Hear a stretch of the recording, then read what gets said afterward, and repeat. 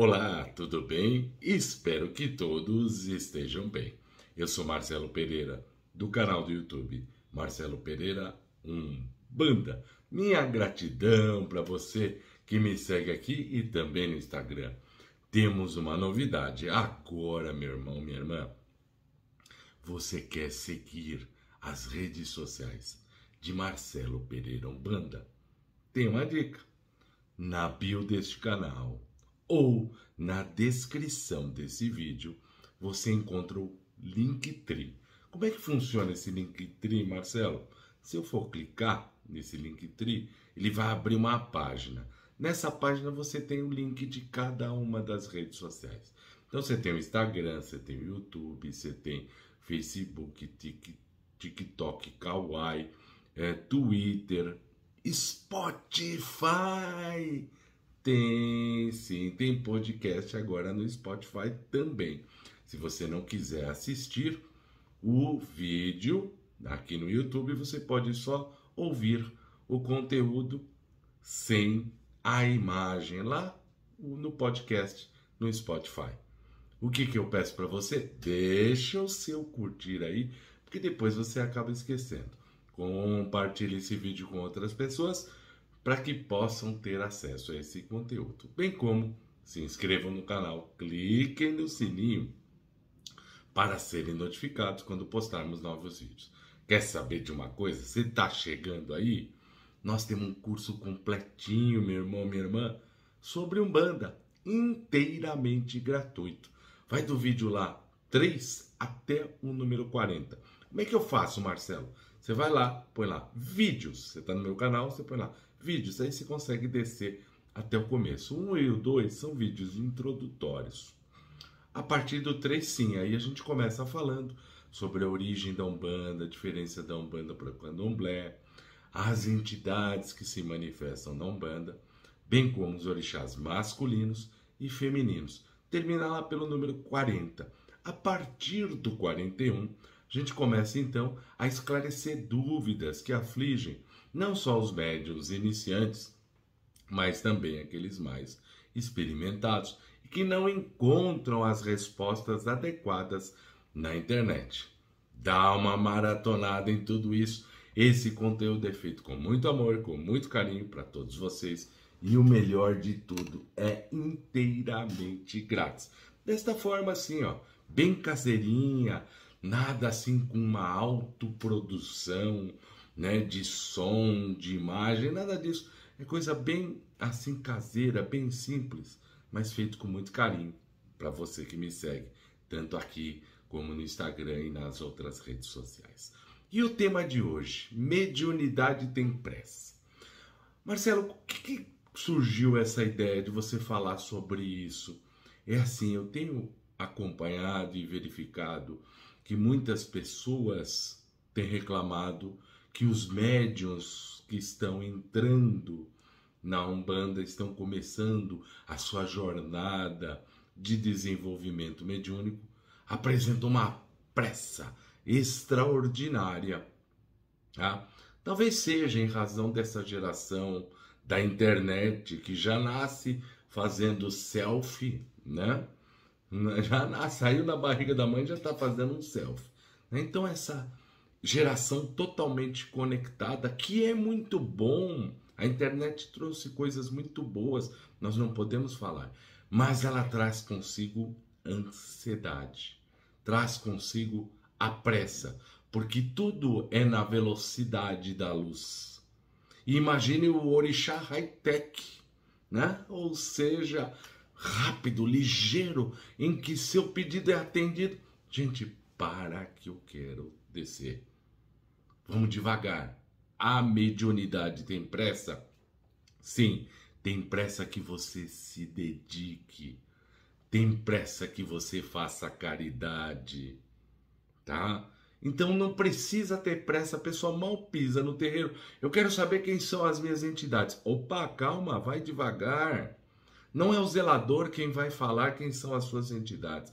As suas entidades vão se aproximar de você no tempo certo, depois de você fazer o seu desenvolvimento, que não pode ser rápido, tá certo? tem um certo período, então elas vão se aproximando, vão se acostumando com a sua energia e você acostumando com a energia delas. Elas vão no momento certo riscar o ponto, o momento certo dar o nome, tá? Então não precisa ter pressa, não precisa sair correndo e procurando história de entidade, porque história de entidade não existe. Eu já disse isso. A entidade é uma só, é um espírito único, como se tivesse RG e CPF, tá? Ele está na falange pena branca, tá? Mas ele não é necessariamente o pena branca. Essa falange existem inúmeros penas brancas, tá? São espíritos que assumem esse arquétipo, que trabalham nessa falange e que se apresentam como pena branca, mas é um é diferente do outro. Por isso você tem dois, três, quatro, dez pena branca trabalhando no mesmo terreiro, na mesma gira. Não é um único espírito, são vários espíritos, tá certo? Ok? Então, no momento certo, ele vai dar a sua história, se for adequado, vai dar o seu nome, vai arriscar seu ponto, vai trazer até a sua cantiga. Então, não tenha pressa. Ai, qual o meu orixá de cabeça? Isso não vai mudar nada na sua vida. Sabe o que, que vai mudar na sua vida? Você comparecer com regularidade no terreiro, tá? Se dedicar ao trabalho mediúnico, ao desenvolvimento mediúnico, ao curso da mediunidade, tá? Aqueles cursos de desenvolvimento mediúnico que é feito no terreiro, feito fora, sim, mas no terreiro você precisa estudar sim, meu irmão.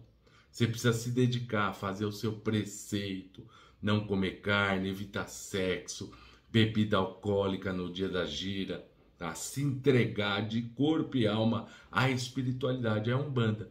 Que aí as mudanças vão acontecendo. A mudança não é de fora para dentro, meu irmão. Ela é de dentro para fora. Então, devagar, não tenha pressa. Tudo no seu tempo. A pressa atrapalha muito. Tá? Você acaba passando na frente. Acaba dando nome para sua entidade que nem é o nome dela, que não é a falange pela qual ela trabalha. Então não tenha pressa, suba um degrau devagar por vez, como Oxalá faz. Oxalá vai devagar, mas preciso, com passos precisos. Fica aqui uma lição. Você sabe o que é um banda, meu irmão, minha irmã, que está me ouvindo? eu vou lhe dizer usando as palavras de um caboclo, tá? Imagine um abraço fraterno de 360 graus. Ah, isso é um banda. Imagine uma vela acesa com fé firmada, né? Gerando mais energia que uma usina nuclear. Ah, isso é a força da Umbanda. Imagine divindades, anjos, santos, sábios, magos, gênios, sacerdotes, xamãs, babalaôs, pajés, cientistas, curadores, todos os tipos de trabalhadores da caridade de todas as épocas e culturas, voltando à terra para restaurar a paz, a lei maior e prestar a caridade a quem necessita. Isso é Umbanda. Imagine a última peça que falta naquele milenar quebra-cabeça que compõe a sua alma, o seu espírito, aquilo que faltava lhe preencher, aquele vazio. Essa é Umbanda. Imagine traumas, neuroses, fobias, vírus, bactérias físicas e astrais sendo dissolvidas na, na baforada de um cachimbo de um preto velho, na baforada do charuto de Exu, no riso da pombagira. Ah, isso é Umbanda. Imagine a Pemba traçando e reproduzindo os códigos sagrados da criação. Isto é Umbanda. Imagine o Padre de Exu promovendo a harmonia entre a luz e as trevas. Isso é Umbanda. Imagine o médio descalço, vestido de branco, iluminando-se por dentro e por fora. Isso é Umbanda. Imagine o consulente confortado e esclarecido, subindo mais um degrau evolutivo. Isso é Umbanda. Imagine o homem servindo a natureza e a natureza servindo o homem. Isso é Umbanda. Imagine o sal das lágrimas que vertem dos olhos do consulente em meio a uma consulta, misturando-se ao mar, ventre de Emanjá. Isso é a nossa Umbanda. Imagine a flecha certeira de Oxóssi, alinhando a razão, a emoção e o amor. Isso é a Umbanda. Imagine a espada de Ogum, abrindo caminho no cipó das ilusões humanas. Isso é Umbanda.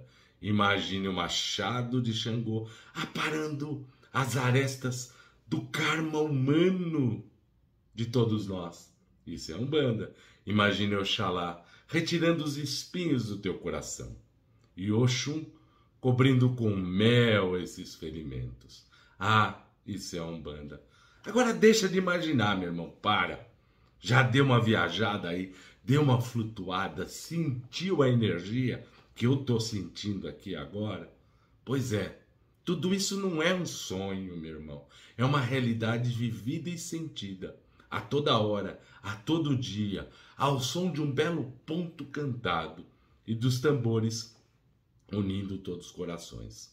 No abraço do caboclo, no toque do preto velho, na brincadeira da criança, naquele olhar de Exu misterioso, no sorriso do baiano, ah, no balanço do marinheiro, no encanto da cigana, na ginga do malandro, até no laço do boiadeiro.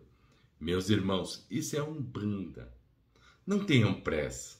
A pressa atrapalha. A pressa inimiga da perfeição. Saboreie lentamente, devagar, o gosto, o cheiro, o sentir que é um banda atrás. Axé, meus irmãos! Gostou do vídeo? Então deixa o seu curtir aí, compartilha com outras pessoas para que tenham acesso a esse conteúdo, bem como se inscrevam no canal. Cliquem no sininho para que sejam notificados quando postarmos outros vídeos. Que Oxalá abençoe a todos, hoje e sempre. Axé.